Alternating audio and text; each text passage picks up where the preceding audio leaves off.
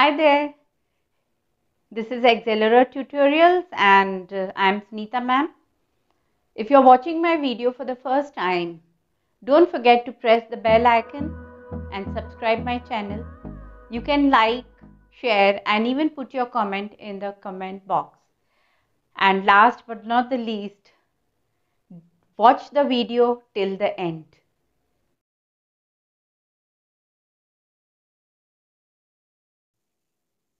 A Thing of Beauty. This is the fourth poem of your prose textbook Flamingo. It has been written by John Keats. Keats was born on 31st October 1795 at Moorgate, London, and he died on 23rd February 1821 at Italy, Rome. He died at a very young age of 25 due to tuberculosis. Keats was a British romantic poet. Here, romanticism deals with the strong sense of feelings, powerful emotions, imaginations, and love for nature. A Thing of Beauty is an excerpt which has been taken from Endymion, which is a long epic poem.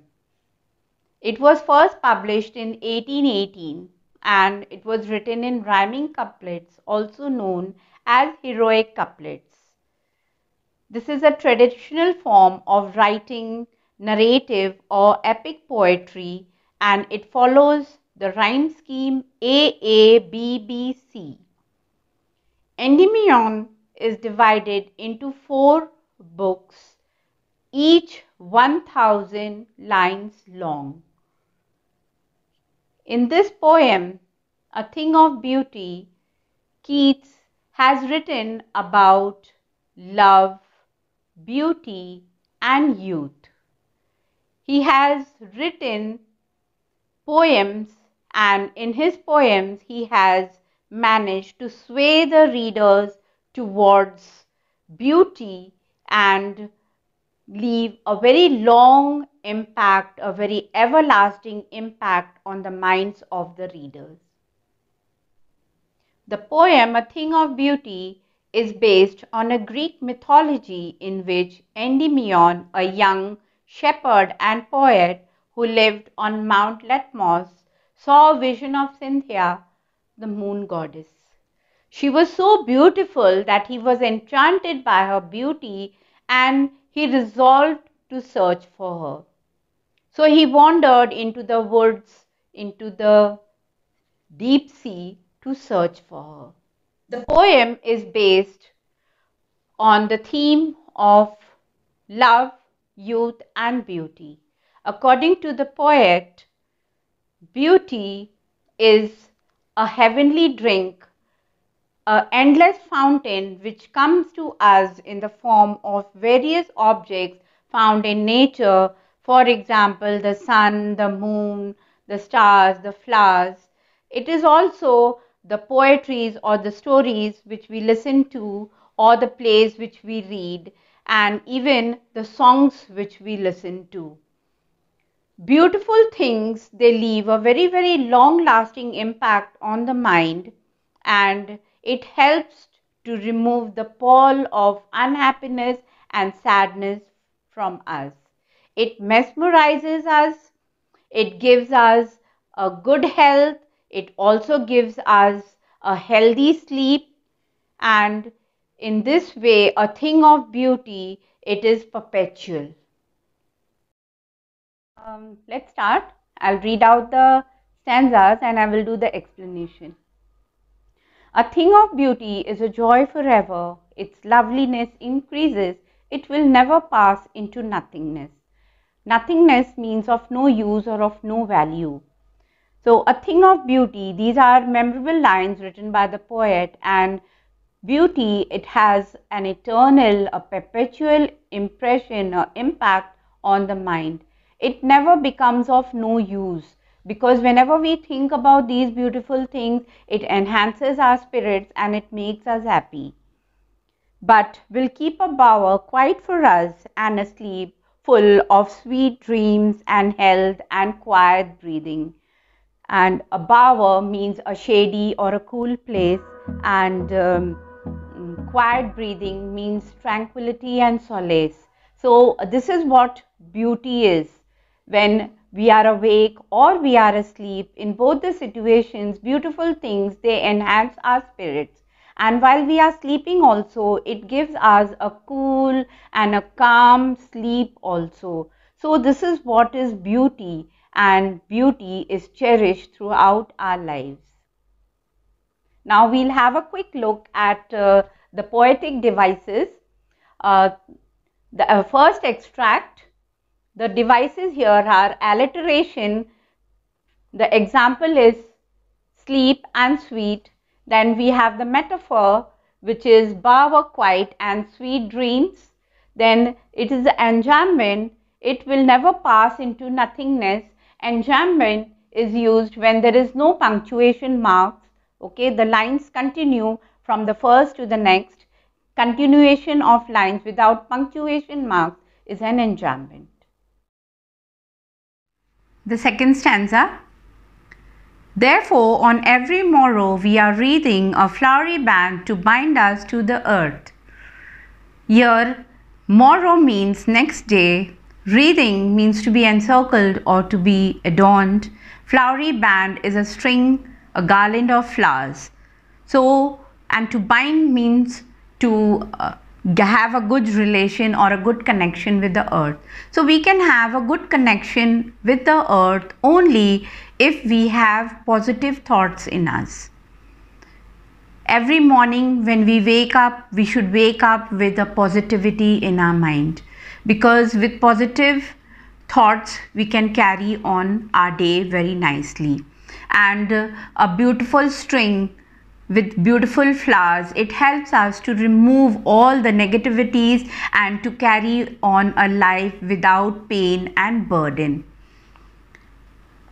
spite of despondence of inhuman dirt spite means jealousy or malices. Despondence means to be disappointed and dirt means lacking. Of noble natures, noble natures is good quality of human beings with having high um, intellect and having a very good refined qualities and character. Of our overdarkened ways, now, our overdarkened ways are our jealousies and malices and our disappointments. Because human beings are very, very self-centered, they are very uh, selfish and this is the reason why that on this earth very very few people are there who have strong characters and good natures. So this is noble natures are lacking today. Why are why is it lacking? Because of all our unhealthy habits which we have. All our over darkened ways. Over darkened ways means our um, disappointments and our bad habits which we have. Uh, made for our searching in spite of all in spite of all these uh, bad habits and in spite of all the disappointments and the malices which we have there are things in nature which helps us to divert our mind and to carry on a healthy life. So here uh, unhealthy and over darkened ways is that uh, the um, man has many many uh, uh, you know dishonest ways to achieve his goals in life. So this is what should be removed and if it is removed then this earth will be a very very beautiful place to live in. Now let's have a look at the uh, poetic devices. Many poetic devices are there in this stanza. So we begin first with the alliteration. Uh, b and b is there. Bind uh, band and bind then we have the noble natures we wreathing that is the next one then some shape ss and to the tt then we have the metaphor wreathing a flowery band anaphora of noble of all. Why? Because of is repeated in two consecutive lines that is why it is an, anaphora. Then here we have the imagery flowery band it is the image and here flowery band means all the good thoughts and the positivity which we should have in our lives inversion are we reading? It's an inversion because the formation or the arrangement of the sentence is in the reverse. Transferred epithet that is gloomy days, unhealthy and overdarkened ways. So these are the poetic devices. This is the third stanza. In the second stanza, we had uh, uh, read about uh, all the uh, evil ways and the unhealthy habits which we have. So, to remove those unhealthy habits, in this stanza, the poet has given us various uh, examples of objects in nature which can enhance our um, spirits and make us happy. Some shape of beauty moves away the pall Pall is the covering, okay? We are uh, surrounded by disappointments. To, to remove this disappointment and to remove all our evil habits, there are many things in nature which can help us. From our dark spirits, our dark spirits are our unhealthy habits.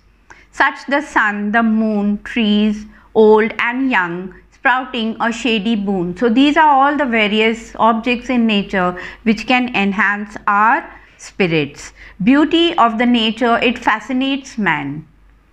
All these things in uh, nature. That is why because of fascination for these things, people they are very very attracted towards the sun, the moon, the trees and all these things which help us to remove all the disappointments and all our evil habits and they help to make our life good.